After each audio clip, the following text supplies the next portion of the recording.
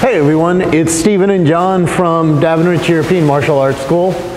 Wanted to come back, we're ready for a new year. We are looking forward to getting some great content out here for you and today we're actually going to be answering a question that we got from one of our previous videos. One of our subscribers, Eric Brooks, asked on a previous video what we could do about two tomahawks. Well, my first thought with that was, well, you'd use it like a Eskrima sticks. But the more I thought about it, the more I realized, no, you can't because of the weight and they're a little bit shorter and you've got the heads at the end. They're not quite going to move like a Eskrima sticks.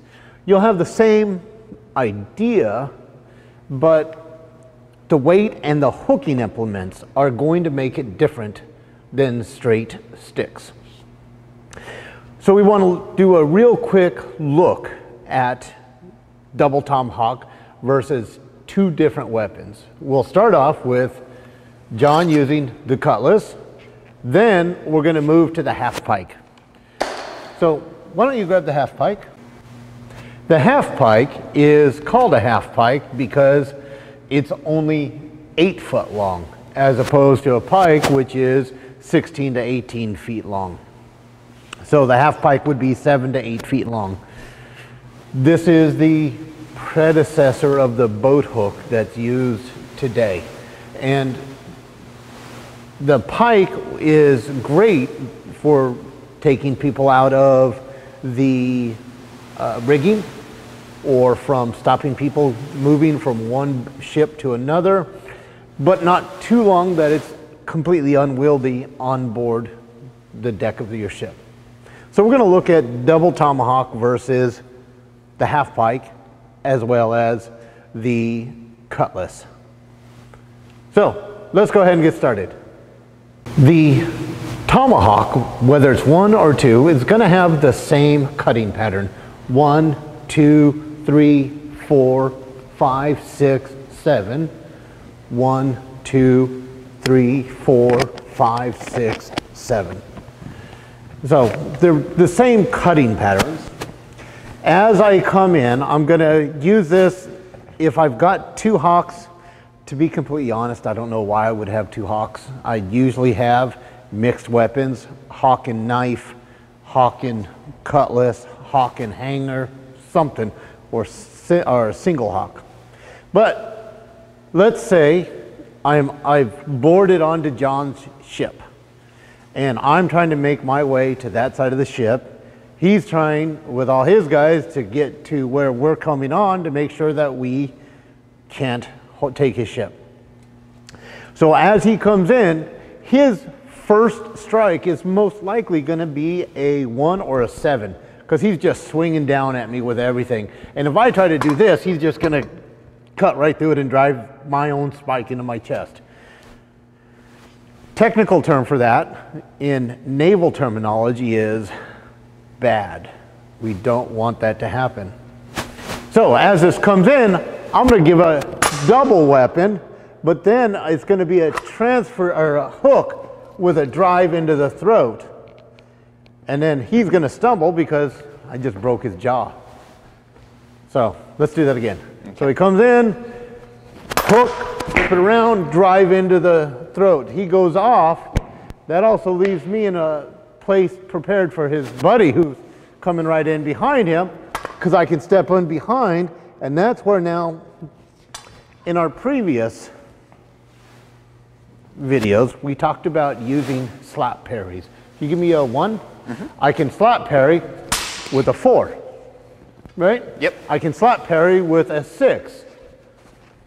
And it can be at the weapon, do that again, or at the hand if he doesn't have a cage on it. I can use this also as an attack. So I just uh, hooked him out here, broke his jaw, his buddy's coming at me. I step out of the way, uh, actually I'm to step into the blow, so I step out of the way and slap parry the elbow. So just hold up your sword for me. Yeah. I step out of the way and give that to his elbow. he is not using that arm until that elbow heals. I'm not worried about using the head of the axe or anything like that. I'm using the mass of the weapon. It's funny because when I teach hawk classes, I'll have people come in and they'll ask, hey, can I bring this tomahawk? They've never done any work with it before, but they'll say, can I use this tomahawk? Don't worry, it's dull. My answer to that always is a dull axe is still an axe, so it doesn't really matter. If you give a slap parry to his elbow, you are going to get his attention. Oh, yeah. And then he's going to be thinking about the pain in his arm. So let's go through that again real quick. The initial attack comes in. We give a hook, uh, we give a hook, and now all, both of these are straight up and down. And I want it that way, because if I go in here, yes, I can do that, but now I run into potentially a problem, and there's nothing to say that he's not going to, oh yeah, bad things are going to happen to me. I can do that, but that's not my choice in this instance. I want both heads up so I can take it around, step in to break his jaw, so that when his buddy comes in, I can step underneath with a slap parry to his elbow. And from there, just because I need to make sure that I get his attention, I'm gonna hook his neck and drive him into the other one. Because I can. So, so both of the opponents. Okay. The initial one comes in, cover, hook, break the jaw. Second comes in, step underneath, parry, hook, drive it in. Now, because I've got this beak, let's switch sides. Mostly because it entertains me. Ah. Both, All right, both opponents Both, both opponents. coming in. One. Hook, break the jaw, he comes through, step underneath, slap parry, hook. Now that beak is driving right into his neck. And just to make sure I get as much damage as I can, I hook it there, but now it's stuck in his neck. It's not gonna go into his spine because it's not long enough. No. But I can use that to rip it out. He's done fighting me. I'm gonna go find a corner now. With the amount of gross damage done to the structure, I don't think you could even do that. I don't think I'm gonna be able to. Because I'd hook, I would hook the the carotid my carotid. and the trachea. Yep. This is I'm sitting again down where I am. technical term, bad. Let's do that again. Okay. Both. Both. One, cover that to give me room to step in to break his jaw. He comes in. I cover that just to step underneath it with a slap parry to his elbow to break that. That leaves this axe here. I step forward and drive it in. Now I just, with that haft, hit him in the trachea. He's going to probably fall backwards. There's that hook. Then I drive it in and rip it out because I need my weapon free. Do you agree? Yes. It goes quick and it's devastating damage. Can we do it again? One more time. Yeah. All right. So he comes in, boom, slap, hook, push it in, rip him out, and I'm ready for my next guy. Real quick use of double hawk against cutlass. Effective. Very.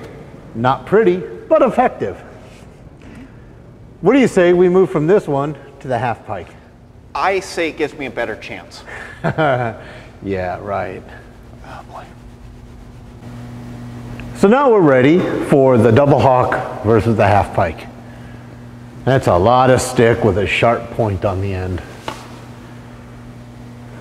Be unpleasant. Now, anybody who's ever fought against a spear knows that all you need to do is get past the head. The problem is if your opponent knows how to use the spear, they can choke up on the spear and now they've got a dagger. Because if I come in and I try to hook that, yeah, no good for me. This is where I need to make sure that I'm inside his point, and the only way I can do that is cover with both weapons. And if I'm coming in hard and fast, he's probably just trying to stab me so he can and finish the fight.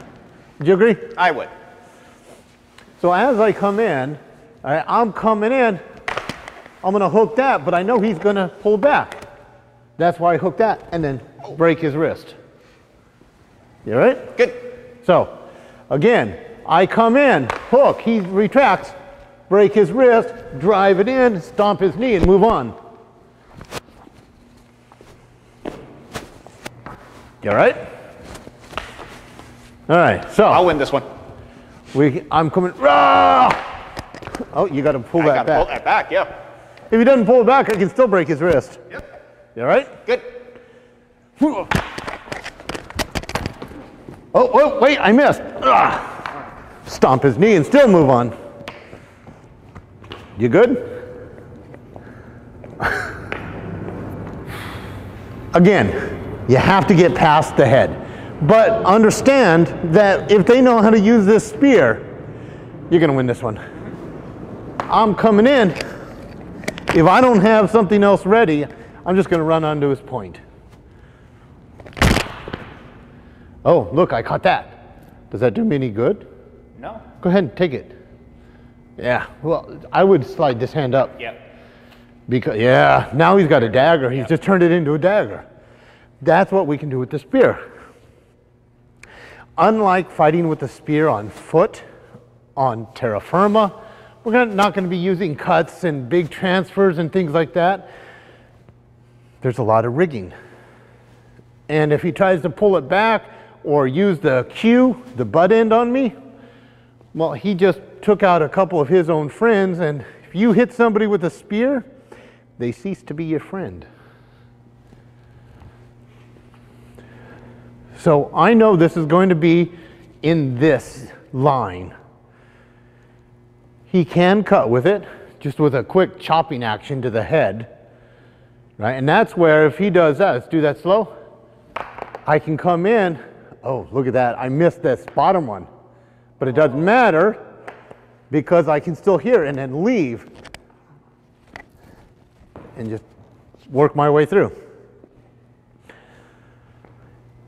If they're using a spear or a half pike, understand that all they need to do is shorten their grip on it and now it becomes a dagger.